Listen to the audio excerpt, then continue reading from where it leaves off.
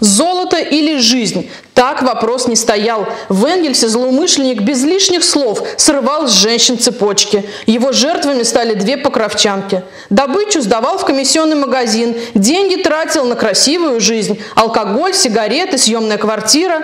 Но сколько веревочки не виться, Возбуждено уголовное дело по статье 161 части 2 пункта Г, а именно грабеж с причинением насилия, не опасного для жизни и здоровья.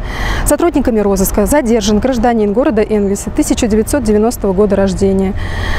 При- Применена мера пресечения, заключение под стражу. Следствие продолжается.